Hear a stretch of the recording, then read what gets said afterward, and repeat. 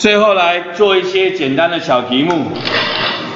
请问你哪一个不是镭射光的特性？我们讲镭射光有三个特性：光色单纯、能量集中、扩散性小。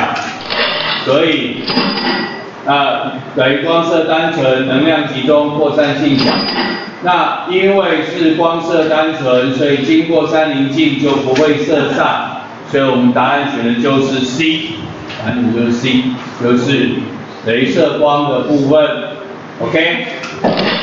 那请问你 CD 怎么用什么？来，CD 的上面有一个一个一个的小洞，镭射光打上去有那个洞，有洞没洞，有洞没洞就零一零一零一，就所谓的数位讯号。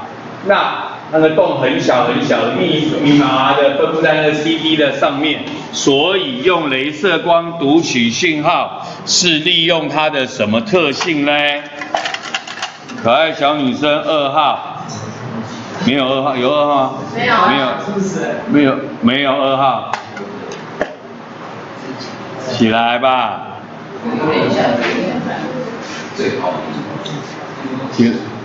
它有好多的小洞，镭射光一读那些小洞，打到那些小洞上，然后反射回来就有洞没洞，有洞没洞变成零一零一。猪吧，请坐。你们现在出现蓝光，蓝光镭镭镭射可以放更多的东西，因为它洞可以更小。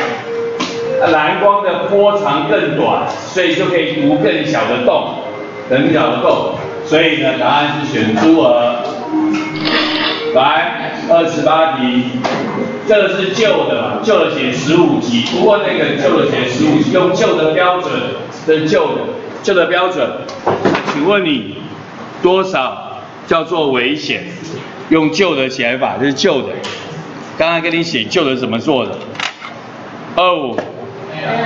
没有来，三四就是可爱的新同学，C，